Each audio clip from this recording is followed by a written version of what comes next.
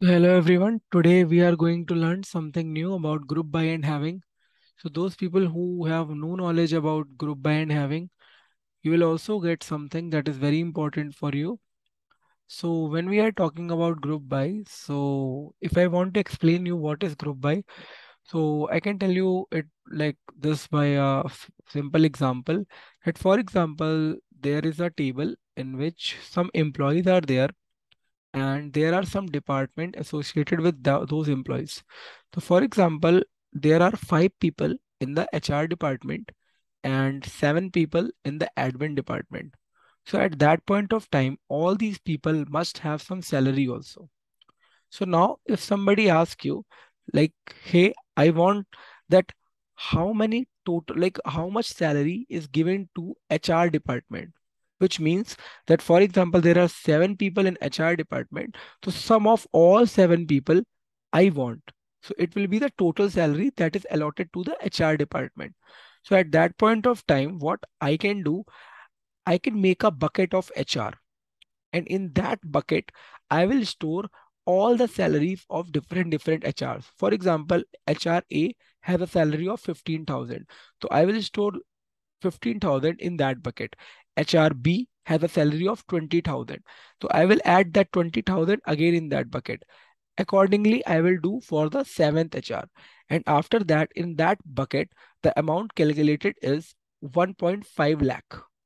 So when that person again asks me, hey, I want the total amount that is allocated to the HR department. So I will give him my bucket, like see that 1.5 lakh is the total amount calculated for the HR department. So what group by do? Group by creates a bucket.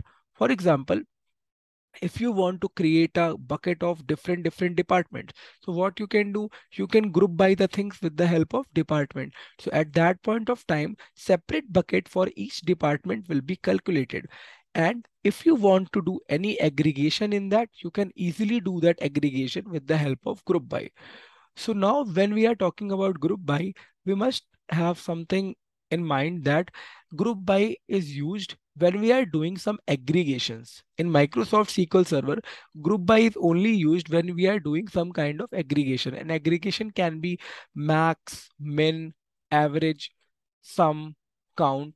So these are some aggregations that we can do with the help of group by. So now I will tell you something with the help of example.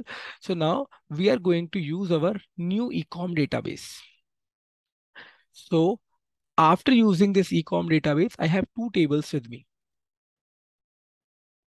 Now, if somebody asks me that tell me the total order amount that is calculated in every month.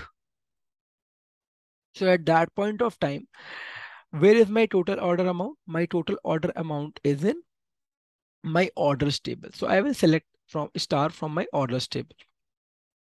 So by this total order amount, it doesn't mean that it's the aggregated total order amount. It's just the total order amount that is done by the customer ID on that order date. So now I want monthly total order amount. So what I will do, I will write select Now, when I'm going to calculate the monthly total order amount, so my order date is in this format 2020 01 12. So firstly, I have to extract the months from my order date. For extracting month from your order date, you will write month and then you will write order date. Order date. After this month order date, and I will give this a column name as month. Month. Now, after this, I want the sum of total order amount. So basically what I want every month, the total order amount that is generated. So now this total order amount is for different, different customer IDs, but I want the aggregated total order amount for that month. So I will use sum and inside this sum, I will pass total order amount. So now what I have done, I have sum all the total order amount and I am giving as total price, total order Now, after this, I am selecting all these things from my customers table. Now, after this, uh, sorry, from my orders table.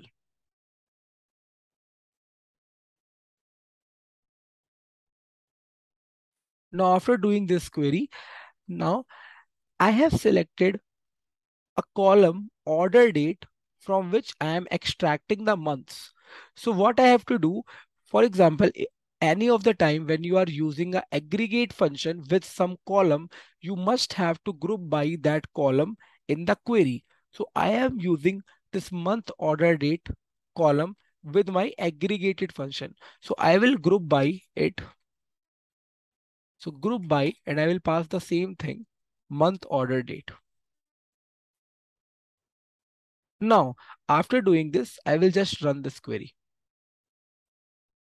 So now you can see that I just order by it to get a more clear picture. So order by month ascending. So now when I will run this query, I will get something like this. So you are seeing that for the month one, the total order, uh, just I'm giving this again, uh, total amount generated. So when I will run this, so get give you more clear picture. So yeah, this on first month on January, the total amount generated is this much. For second, the total amount generated is this much. So now you are seeing that from the orders table, there are different different dates. They are different. For example for january this thing is there. For january this thing is there. And for january this thing is there. January this thing is there. So for january there are many multiple records. But when we have do done a group by with the aggregation thing we are getting all the value in the bucket of january and all the total order amount now if i want the average total order amount so i will write average here and what it will do, it will give me all the average amount, like average amount for the January month, for the February month, for the March month. So by this way, you can do this thing. For example, I have dropped one more column in which I want to show my year also. So I will show year and I will pass my order date inside this. And I will give this column name as year. Now you are seeing that I have used the average function, aggregate function, but this time I have used two columns with my aggregate function. So first column I have grouped by it with month order date, but year order date is missing. So what can I do? I will pass my year order date in the group by. So year order date. Now you can also ask that why I'm not using this alias, why I'm using this year order date. The reason for this is order of execution. So first from statement occurs and after this from statement the group by occurs and group by doesn't know about this alias because this alias is select statement. So because of order of execution, we are going, we have to pass this complete thing. Now I will run this thing.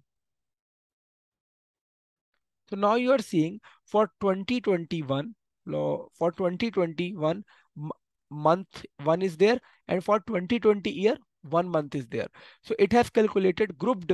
Firstly, it has grouped year and after that it had grouped with the help of months. So now you are seeing the output. So for 2021 January, it's this amount. For 2020 January, it's this amount. So this is all about group by. Now we will come towards our having clause. So now I'm going to remove this year. I don't want this year right now to explain you. So now, now somebody uh, tells me, like tells me that Durgesh, I want only the order amount. I want only the order amount who are greater than a, a cost of 20,000. I want only the month. For example, if I will run this query just to show you, now somebody asked me that Durgesh, I only want those months where the order amount generated is greater than 20,000. So now at this point of time, when somebody asks you a question that is based on your aggregated condition because average total order amount I have calculated with the help of average aggregation. So now if you want to give any condition on your aggregated column, so you have to give that condition in the having clause. You can't give that condition in the where clause. You can have, you have to give that condition in the having clause. So I will pass a having clause. And now in having clause, I will pass having average, total, order, amount. And now I want that amount to be greater than 20,000. So average total order amount is greater than 20,000. Now I will run this query. So I'm not getting any amount. So which means that all the amounts are greater than uh, or the amounts are less than 20,000. So what can I do? I can write some less value 2000. Now if I will run this, I am getting the records, which means I have given the condition. When I have given the condition more than 20,000, I am not getting any record because all the records are less than 20,000. So if you want to give any condition to your aggregated column, then you have to use the having clause. So this is the complete structure why we use group by and why we use having clause. Hope you enjoyed that. If you enjoyed that, you can like and subscribe my video and can subscribe my YouTube channel as well. Thanks.